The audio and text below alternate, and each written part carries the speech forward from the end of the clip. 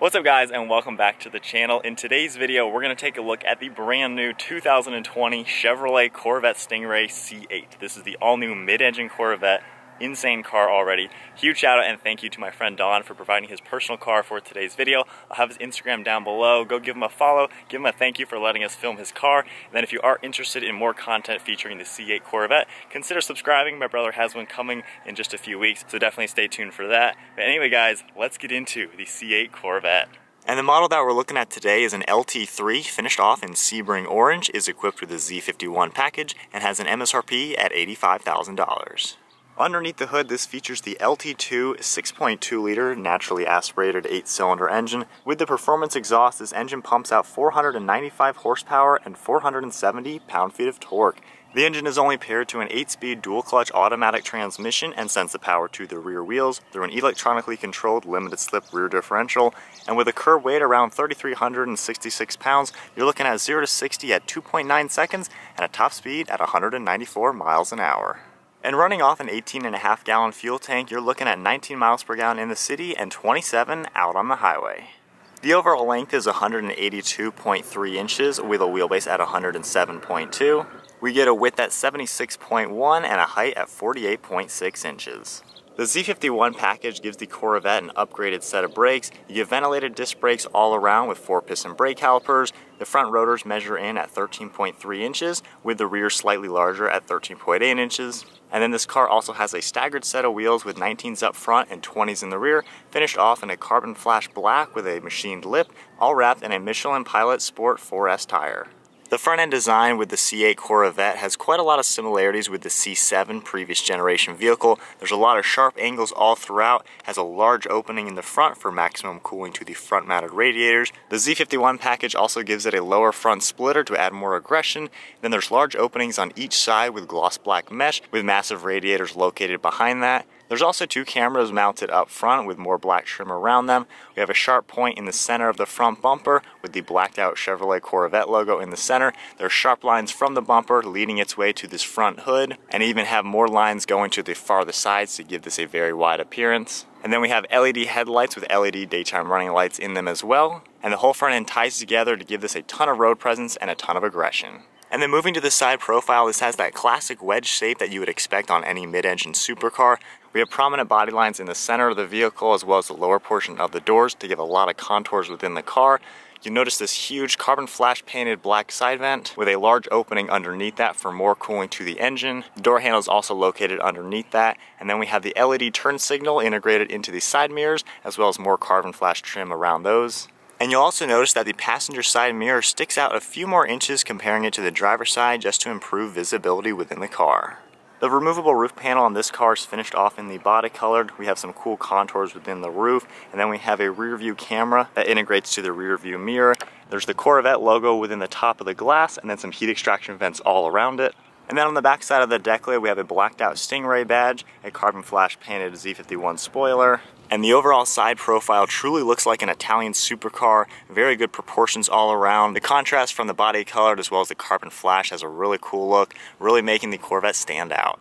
And then making our way to the rear end of the vehicle, you can see the wide hips at the rear fenders, giving it a nice wide appearance from the back. Then we have blacked out trim all around the three-dimensional taillights. They are LED and have sequential turn signals. There's a lot of depth to them. They look very aggressive. We have four parking sensors within the rear of the bumper and more carbon flash accents. You got the dual quad tip exhaust system finished off in the polished aluminum. And then you also get a lower diffuser underneath that.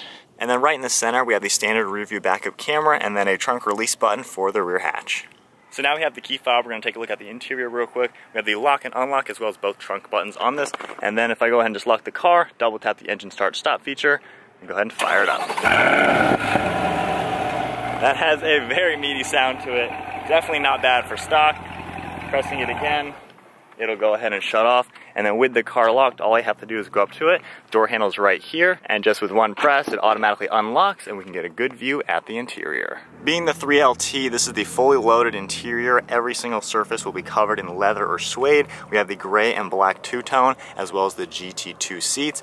If we go ahead and start with the door panel, we have black leather covering everything, beautiful contrast stitching. We even have carpeting filling in here. Both trunk buttons are located right up here for the rear and the front. We have the release handle as well as your lock and unlock. And then we have the gray leather accents as well with the Bose audio system, finished off with aluminum, memory seat control right here. We have the carbon fiber interior package, you can see all that, automatic windows, and then all the mirror controls. Then we have Stingray on the door sill right here, Moving inside to the seats, finished off in that same gray. We have a perforated design within the centers, nice aggressive bolsters. We have carbon fiber up top as well as the Corvette logo embossed into the leather. This car is specced out with orange seat belts which have a really cool look.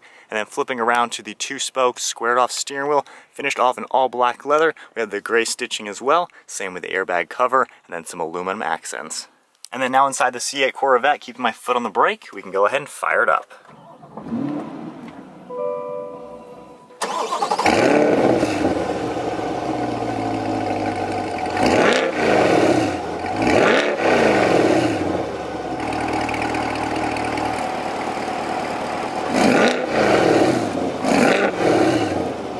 Starting off with the gauge cluster, it's a full digital display. We have audio controls over on the right side as well as your gas, your tach and gears in the center, and then more information over on the left side. In the center of the vehicle, right here is your mode selector. There's an aluminum toggle, you just toggle left and right. So going to the right once, we're going to go into touring mode. This is kind of the standard configuration. Over again, we're now into sport mode. The exhaust valve opens up, the tach gets a little bit more aggressive, and then one more bump over into track mode. Very aggressive design here with a very large tach. And then taking a look at the steering wheel, we have a Z button right here, which is kind of a configurable button. That puts into a certain mode that you can control. We have all the cruise control settings on the left side, as well as some favorites. And then on the right side down here, we have all the volume controls, more Bluetooth and audio controls up here with a heated steering wheel. And then using this icon right here, we can go through different things within the center screen. We can see different options within the car. We also have performance information. I can scroll down using the toggle. We have lap timer, G-force meter, and other things like that. So very nice how everything works on here. This does feature steering wheel mounted paddle shifters. They move with the wheel. They're finished off in aluminum, have a really nice look. Very good feel to them as well. Over on the left side of the steering wheel, we have the heads-up display system, as well as an info button. And if we toggle that button right here, looking at the heads-up, you can see different things with the speedometer, as well as the park, what gear you're in. Now we have a different view right here, G-force meter as well. On the left side of the dash, we have an aluminum trim piece around the air vent, some more black leather and stitching, carbon fiber around the gauge cluster, and more black leather and stitching up top. A lot of very cool contours in here. Definitely gives us a premium and upscale feeling with more black leather and stitching along the dash with the two-tone accents. And then taking a look at the center screen, this is very similar to the General Motors screen. Just scrolling over, we can go into climate, see all of your climate controls right in the center here, which is really nice. We also have all the climate control over on the right side with driver up top, getting down to your zones, fan speeds, air conditioning, and then the passenger buttons are down below as well as the heated and ventilated seats. But going into here, it's very simple to use, super user friendly. We have the track performance data, which we can go into. You can see a lot of different things with the videos, the recording, settings, then going back home. We have other information within the vehicle, pretty typical. We have navigation and then presets over there. Going into the cameras now, we have a top-down view for the front. If we tap this button, we have a rear view, a more wide angle, Going here is back to the front. We have three different camera angles with the three quarters and the top down. We can turn guidelines on and off. We have traction control, the front end lift, and then your camera button. Just tapping that, it gets you back to this screen. And then tapping the front end lift, it only takes about three seconds. It'll raise it around 45 millimeters, and you can operate this until you get to about 25 miles an hour. And then on the left side, this is your gear selector. We have park up top, putting your foot on the brake and pulling this back, that goes into reverse. If we tap that for neutral, and then drive, we pull this up into drive, and we have a manual mode right there. And then even pulling both paddles at the same time, the car will go into neutral. And then taking a look at the center here, if we press this, we have two cup holders right in the center, all finished off in the same leather with some aluminum trim. And then taking a look at the center here, we have more black leather and the contrast stitching, a glove box right here with actually a pretty good amount of space. We have an SD card, USBs, and auxiliary. Closing that up, in the back we have a wireless phone charging port, and then a nice speaker that even has a Corvette logo in it. You can see that kind of within the mesh. We have a really good view out into the engine bay. Very nice to see that. And then you can see the gray leading its way to the ceiling. We have really nice stitching along the ceiling panel here definitely has a premium feeling to it. And then one thing very nice, if we pull down the sun visors, which are all finished off in suede, even this cover right here is finished off in the same material. So no cheap plastic in this car, everything is covered, extremely high quality. We have OnStar controls up top, and then the rear view mirror is a normal mirror. Pulling that up, we have the LCD screen, which is that top mounted camera. And then as far as removing the roof, if you pull these down, you just pull these handles out, These will unlatch, and then you have one in the back side as well, pushing it forward in the back, and then pulling this back. We can easily pop off the roof and it'll even fit nicely into the rear trunk storage space. It'll lock into place and stay secure and you have a nice open top experience in your Corvette. And then to take a look at the glove box, it is a center button right here. Electronically opens up. You have quite a lot of space in here. And then one last look at the interior.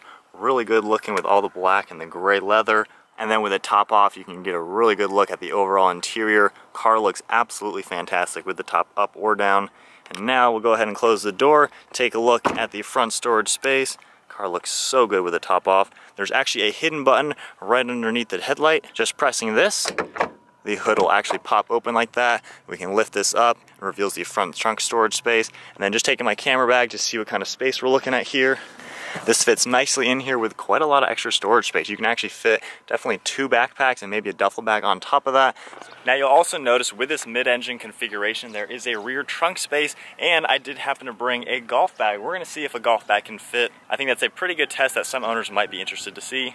So as far as a mid-engine sports car goes, this definitely has a ton of space. So standard golf bag right here. So lifting it over the wing, we can nicely slide this into place and that is a lot of space in there. As you can see, it fits very nicely. It's a full-size golf bag. I think if I put this more on the side, you can definitely fit two if you put it more on the side like that. So absolutely, you can fit two standard golf bags in the back of the Corvette. And then to close it all up, all you have to do, grab this handle. This does have a soft close feature. Once it's down, just give it a little click. It locks into place and automatically closes. Alright guys, so we are now in the driver's seat of the all-new 2020 Corvette C8. Honestly, sitting in here, I can't believe this is a Corvette. The fit and finish is insane. Every single thing is a high quality material. Leather everywhere, aluminum accents. This is genuinely an amazing car. So then to go, foot on the brake, I guess we pull this back into drive. That is automatic. I believe we are in touring mode, so just normal conservative automatic mode. Already though, this is so nice feeling. It just, it feels like something special. It feels like a car that is three or four hundred thousand dollars, and yet this is 85 grand. That is a steal. So slow speed right now, filling out this dual clutch transmission. It is super smooth. I'm not feeling any jerkiness or hesitation. Just giving a little bit of gas, it accelerates. The gear change, I literally can't even feel anything. That is really impressive. Nice and quiet and comfortable. The steering is lightweight It's very smooth and refined feeling. And you really feel like you're in like a race car, just the way the windshield is laid out. This A-pillar is a little bit closer to me than I'm used to in other cars. Kind of gives you that hunkered down appearance. And then the way this cockpit is designed, it's completely driver focused. And especially in my peripherals, seeing the black and then the gray. The gray kind of hugs me, goes right around me. And it feels like a fighter jet. It feels like no other car. As far as normal visibility, I love how I can see the fender arches. Gives it a really cool look out the front end. I can easily place the car if I were to be on the track or in the mountains or something like that. And then using these side view mirrors, they seem to do a pretty good job. Looking over your left shoulder, not too bad.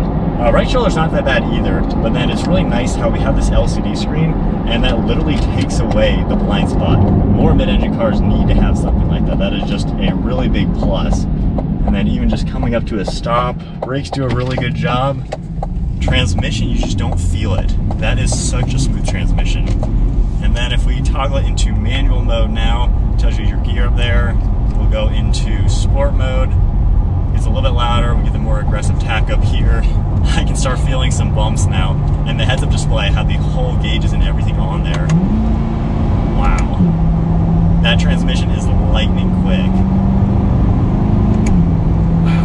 as soon as I let off the paddle, it's already into the gear. That is crazy. And we'll just go into track just to see that other tachometer now. So we have a very race car inspired one. We have tire pressure, oil temperature, pressures.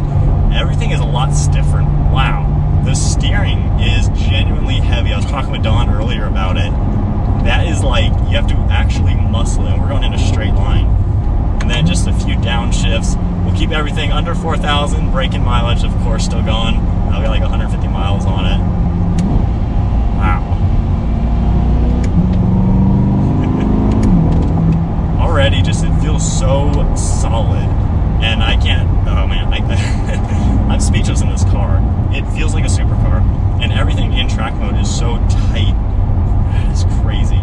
So we'll tone everything way down into touring mode, comfort mode, and automatic mode The whole car just kind of relaxes now, and you can actually cruise. We're on a pretty bad road. It's very bumpy right here, but we're back into like a comfortable GT car, which is crazy.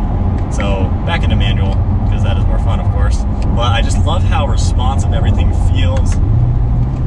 Taking a turn, you hear some engine. The handling is really good when you just turn it a little bit. There is no body roll or any type of flex within the car. And you would think with a car that the roof comes off, that would lose structural rigidity. But obviously they designed this car to be a convertible from the beginning, which means you don't lose anything. It's completely designed for that. The center tunnel is structural in this car, so there's no flex. We're going about 60 miles an hour and just accelerating a little bit in a turn. I mean, you can just pinpoint the car. And I like how you do see those far fender arches, but then nothing right in the center. I just see the road. I almost feel like my feet are on the road. It's, it's weird to say that. I just feel like I am pinpointing the car wherever I want it to go, which is really cool. You're around 16 inches, something like that, farther forward than in the C7. And then because we don't have the engine up front, we have more of the weight in the rear. You just have a easier to pinpoint car because you're at the front of the car, which is super cool. And then just getting back up to speed. That transmission, wow. That's just impressive how quickly everything shifts. But if we then tone everything down, just go into the normal, comfortable modes, we'll uh, flip a U-turn right now. Normal driving even, it's very usable. If I hit the front end lift, lifts up in three seconds. So right there, that was almost like an abrupt, you know, I had to get up on a steep hill. No issue, press the button and you're up just like that. We'll see what a three-point turn is. I think we're back into touring mode. I mean, just navigating it, the turning circle seems super tight pull this back up for reverse. Huge camera, super HD, and while moving I can easily adjust it to see a little bit different. My front down view as well. So definitely super usable. I do like how in reverse you can feel the transmission kind of push you a little bit, which is pretty typical for a dual clutch, so I like that aspect. All right, so then getting back out, no issue there. And then looking around, you know, good enough visibility. So normal driving, and I wonder, so it automatically lowers at like 29 miles an hour. So front end is back down now. But even normal driving comfort, I am so comfortable in these seats. They're hard and stiff like a performance seat should be, but I am so comfortable. They just fit your body. Like they go in line with your skeleton of your frame and just they fit really nicely all the different adjustments, heated and ventilation. Now, one thing I want to talk about is the center column. Before I hated it, I thought it was a horrible eyesore, but actually driving the car and using it, it's nothing bad at all. There are a lot of buttons, so it does take some getting used to just looking at it. It is a little confusing. But as far as separating the driver from the passenger, it's not intrusive. I did sit in the passenger seat and it's nothing bad at all. So I definitely have no complaints there. And then just using the buttons in the car, there actually aren't too many buttons. It's a pretty easy layout, even just tapping the home button. You have a lot of the controls here. I do like how you have climate on the navigation screen as well, just because sometimes this could get a little confusing. So if you're in a pinch, you can just have them right there, which is really smart of General Motors. It's very smart for them to do that. And then that's kind of the only buttons, just the three up there. You know, window controls, everything else is very normal. Um, the steering wheel, using that, very simple to use. All these buttons here, pretty typical in any normal car. Uh, like I said, the paddle shifters are really nice. They're large, they're aluminum, so depending on where you're going to have your hands, I mean, you're going to hit them. Now, the 9 and 3 position is a little bit lower than normal, I would say. You should maybe be more like you're on a normal steering wheel. But quite honestly, I feel like this is still a comfortable, you know, good spot to have your hands. So I don't really have any complaints with that. Um, overall layout, I don't have any complaints. I'm not even kidding. Like, it's just so much, so much to offer with this car. We'll do uh, a little bit more of a acceleration, manual mode. But I love the configuration within the gauges. I like how you have a lot of that important information. Man.